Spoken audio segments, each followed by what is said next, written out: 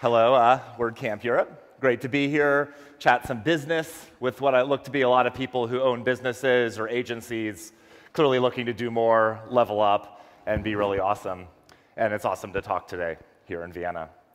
Uh, the talk today is about business processes going through to create a successful product company out of a web agency.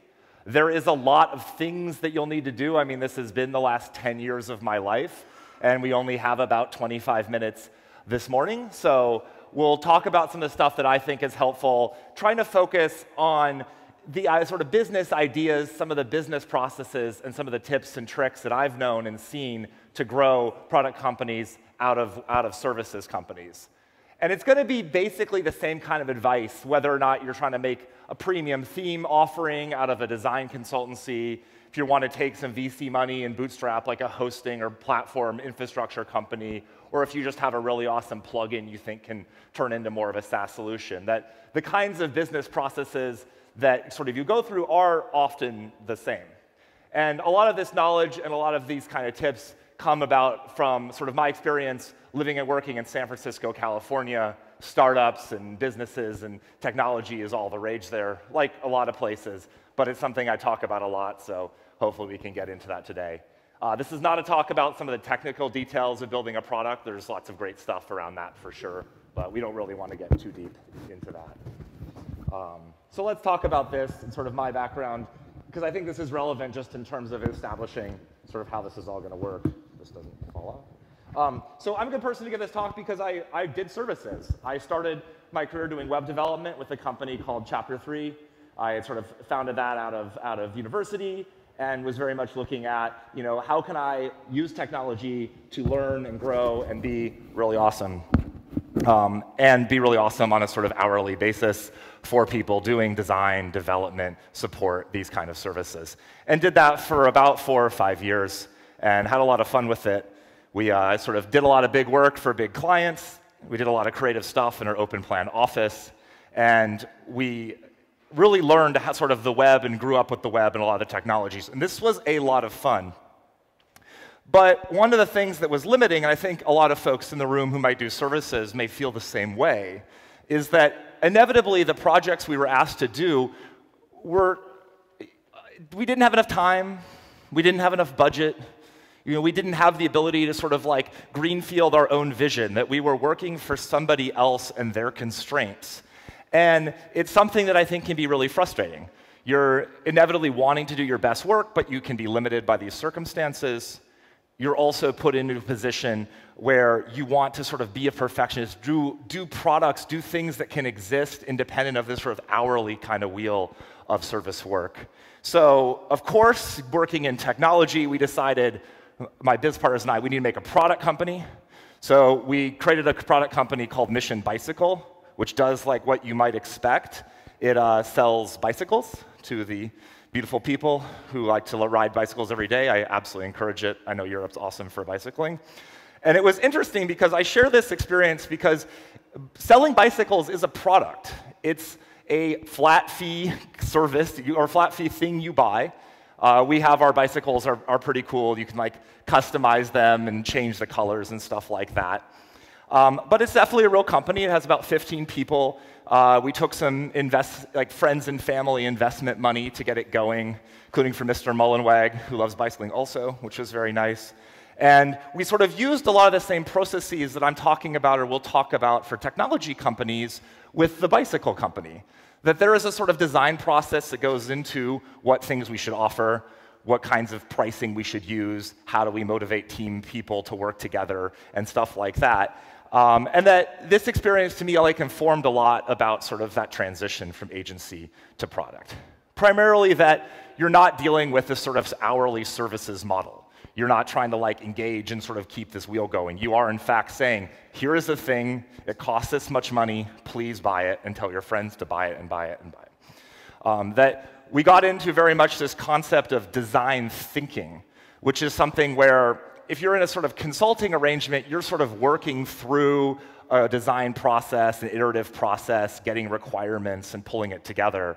But in a sort of product company, a lot of the buying decisions, a lot of the decisions that people use to formulate their own consumer intent comes about from a process that happens totally in their minds, totally independent of your engagement. You know, we're not sending out RFPs to folks to say, buy this bicycle. We're not, you know, we're not putting out a call for transportation and people are like saying, here's my solution, go for it. You're trying to engage people around the actual, you know, sort of thinking. And this is where I think some of the tactics of building product companies come into play because you're very much talking about what are emotions that people have and can connect with bikes.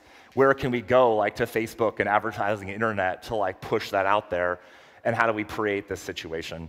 And from a process of going from a sort of tech consultancy to the bicycle company, we also had to deal with a lot of challenges that I think a lot of you folks will deal with, um, starting out, honestly, first, and just getting the money to do this kind of stuff.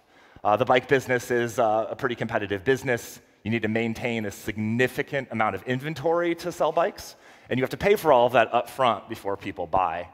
And so our process in terms of bootstrapping Mission Bicycle was to take some of the investment from friends and family, but also to dump a lot of the basically the profits we had made out of the consulting company into, into the bicycle company. And so like inevitably we look at, you know, trying to run a business at about a 20% margin, which I think for a services firm is very good if you can get to 20%. And we took the 18% of profits and just threw it into the bike company. And that's something it takes a, it takes a lot of confidence, or at least a tolerance for risk, to do this for your own companies. Because you maybe you're paying yourself a salary out of your services firm, you get a little bit of profit sharing, but if you want to go do products, you have to dump a bunch of those resources you would otherwise do and put them into something else. And I think that's, that's important sort of as a step to go forward. Uh, Bikesoul stuff went really well, but I'm a technologist. I like to build things. And so after sort of Mission Bicycle got off the ground, jumped into starting a company called Pantheon, which does uh, website hosting and development tools for the WordPress peoples. And um, it's a monthly fee kind of situation, or yearly fee if you're a large customer. Uh, you basically hook it up and you get all these tools and you get this hosting. And this, is, this company is a lot of everything.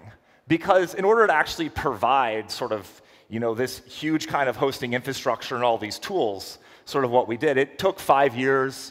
We now have 100 people that we're coordinating in like 10 countries around the world, doing 100,000 sites.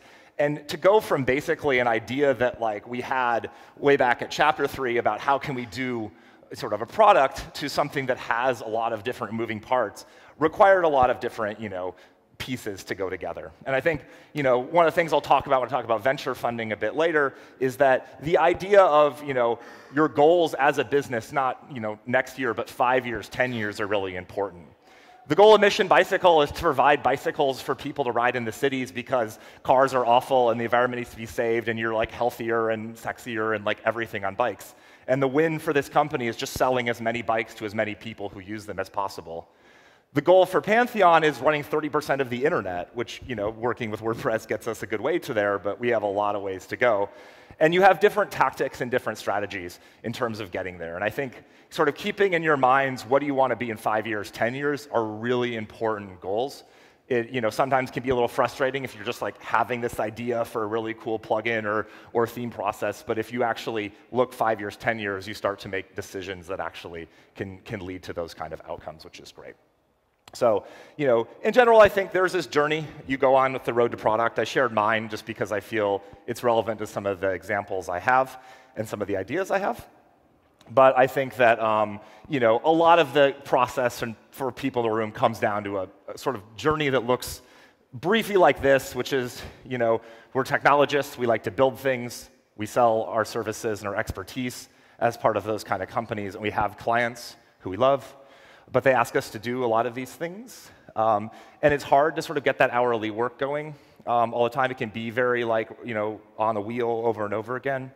And that there's this appeal that people have, which is they wanting to make money while they sleep, which, you know, maybe motivates a lot of the business uh, folks or business minds in the room. Um, I would say that's not the most motivating thing for me. I do think that having sustainable income is important. But I think what a lot of people, when they talk about services companies turning into products, they do want a better business. They want to be the kind of business that I think with product companies people really get into, well known, you know, very valuable, often profitable, and having repeatable solutions that care. But there are also people who are building products um, as builders. They're technologists. You want to build the great thing, you want to make it work. So, getting into this, things to keep in mind in terms of goals for building products.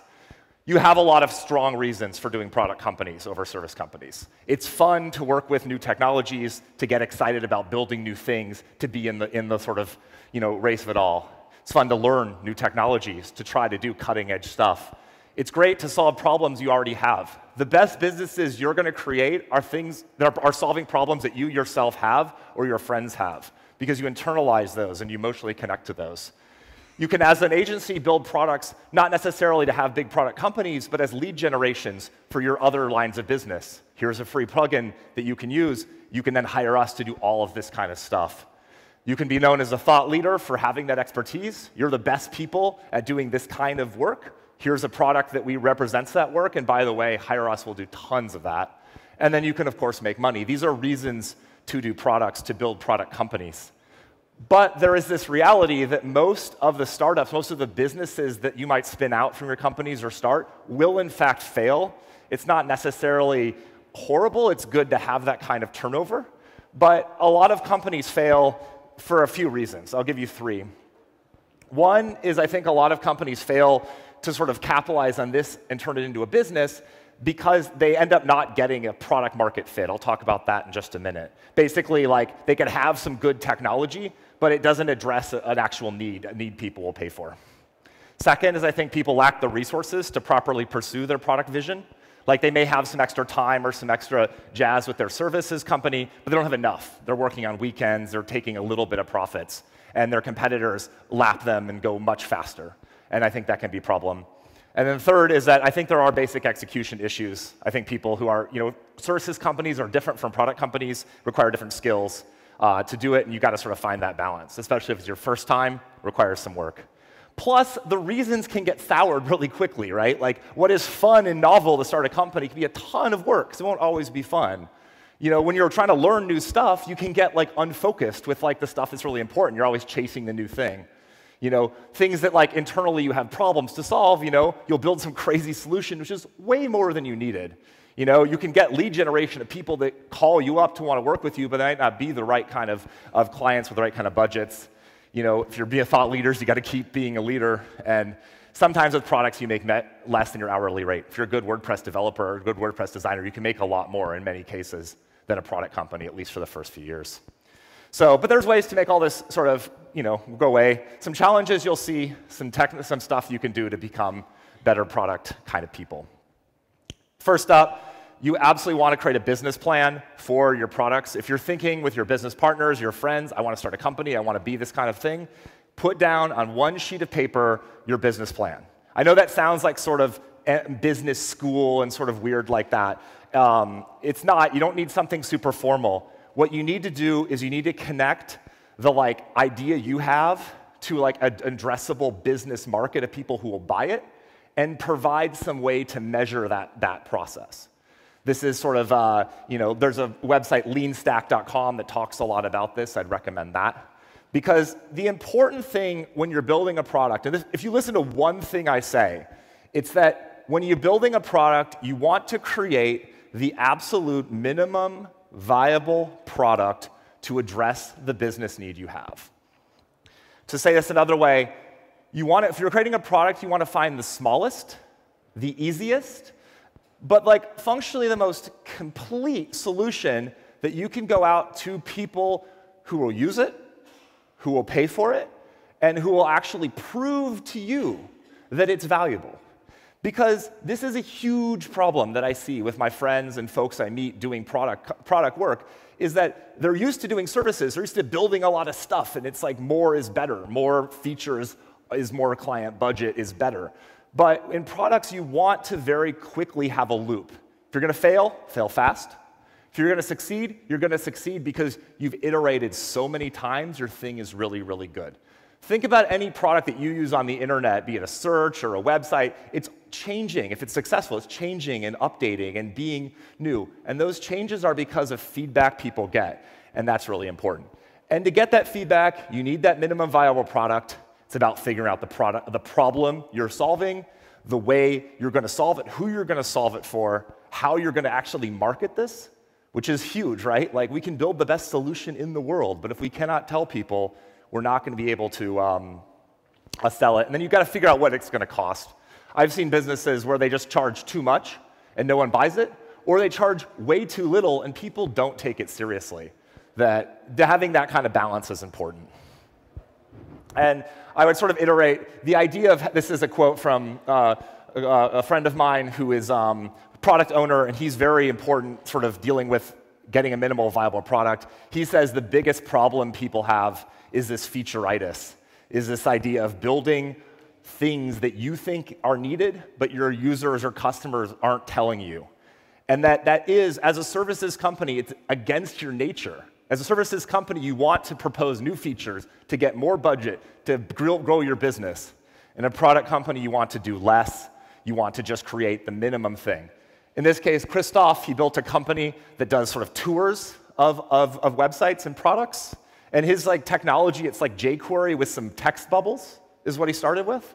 But it was proving that people need jQuery with text bubbles to learn about you know, product walkthroughs, and that was huge for him. Product lifecycle, in terms of actually sort of building this stuff out, you get that problem solution fit. You write a business plan, one page, you build a minimum viable product that can address that solution, you give it to people or sell it to people better to get it working.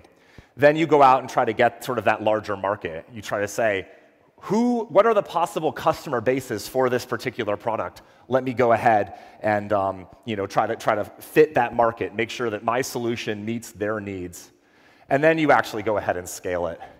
And I think you don't want to jump ahead of yourself, but there is a moment once you've built a product that's good, once you've found a product market fit where you're clearly cycling and selling, what you then need is, is resources to scale your business. And I would say this is important. Like most companies that are successful take, invest, take investment from themselves, their friends, VC, et cetera. But the idea is that you need to get the first two parts right first. There's no reason to invest in something if you're not reliably turning you know, $1 into $20 or something like this. So you want to be, be sort of careful. But once you're ready to get investment or, or money to bootstrap, you can go a few different ways. Uh, sort of the common ways from a services business that I could, I could share with you is that a lot of folks in building products are going to use sort of their nights and weekends to build the product. They're going to take that extra time that they're not working on deliverable work, work on the product. Sometimes they have free cycles inside the firm, so they'll go ahead and you know, address. This is what we did at uh, chapter three, build Pantheon. We had a few people who were extra. We go in, have them work on the server stuff while we make money with the agency. Sometimes you can just take your profits straight off the agency, like with Mission Bikes. Sometimes you get your clients to pay for your, for your stuff. A lot of what Pantheon sort of conceptually started as was a project for The Economist uh, magazine, where you like had to go and uh, create a whole infrastructure to do their work. Some of those ideas come into to play. Sometimes you can get grants to help, and your friends and family can also invest. That can be a little tricky uh, if you don't do well, but you know this is sort of common.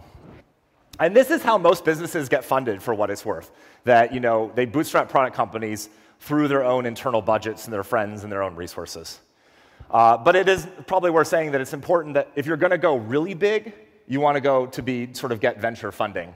Um, venture funding, sort of as, a, as an overview, the best venture funding investments are the ones that are going to take like $10 and turn it into 1000 That venture funds don't want to turn you know, clean $10 into $20. That's not actually very good for them. They want $10 into, into $1,000. It's, it's the sort of hits business. It's like Hollywood. You want the big movies to make the big money. And that, that's something that, like, if you have an idea that's going to be a $100 million a billion dollar company, getting venture funding, getting that kind of resources is important. And it goes in a pretty predictable cycle. There's a lot of stuff written on the internet about this. Basically, you get a seed round from friends and family and, like, you know, small, small angel investors just to prove your idea.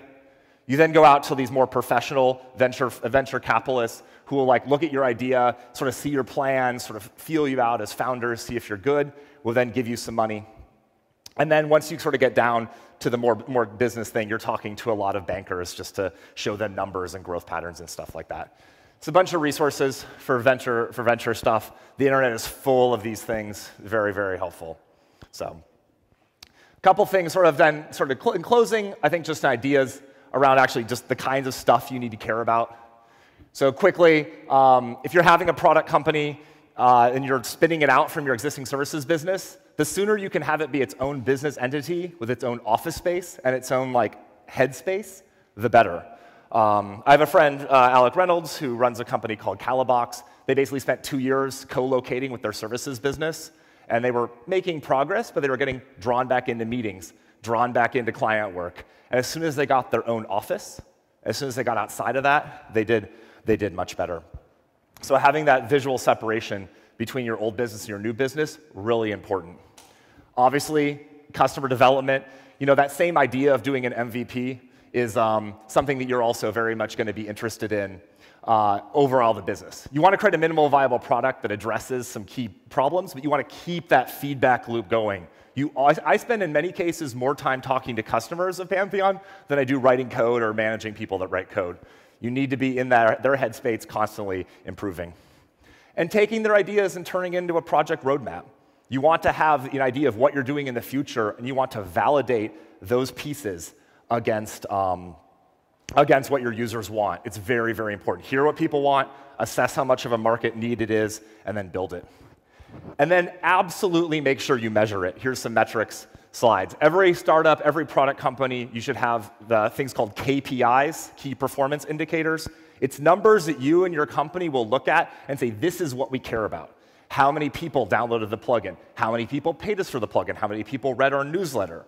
How many people, you know, how long was it since we launched something ago? And getting that kind of thing. And there's a lot of tools to help you with this, but these are really, really important. And this all feeds into a standard business funnel. You want to get people who care about your, your product to pay attention. You want to like fit, make them learn the value of what you're doing. You then want them to do something, sign up for your newsletter list, download your thing. You then want them to go ahead and purchase at some point. Then we want them to keep them around and make them happy. And if you can get them super happy and they really like your stuff, they'll be the best marketing you'll ever get. And they'll do it for free because they're honestly, they like what you're doing. So it's good to have also a nice team. It's important to have people that want to build products. Product people are different than services people. Uh, people who are doing you know, really good at client work are not necessarily the people who can do the best for product, although sometimes they are. And it's just figuring out sort of the team you want. There's a lot of stuff on team dynamics you can deal with give some people some stock. I think the way venture and like businesses structure, I think, is actually pretty unfair to most people who work there. But I think the more diverse you can do, the people who are going to be your winners that are going to help build your business, you want to cut them in on the stock for the, the company, be it stock options as part of some venture deal, or just be it a percentage of the profits or percentage of it. More people are personally invested in the outcome, the better their work they're going to be. So in closing, I would just say like, you know, the best advice sort of beyond all this I could give with doing product work is like you want to know the problems you're solving and you want to have that sort of north star, that kind of vision for how you're going to do it to keep going. Because your plans are totally going to change. Your team is going to change. The way you get money is going to change, your customers might change, but if you know the problem that you're trying to solve and you know the sort of values and reasons why you're trying to solve it, like you will go really far and you can help weather a lot of ups and downs. Because doing startups isn't just like a straight growth curve. It's sort of a little bit ups and up and down like that. So I encourage all of you to go out and have a really good time building products. I'll be around the conference uh, if people have other questions and want to chat. But um, thank you very much for your attention.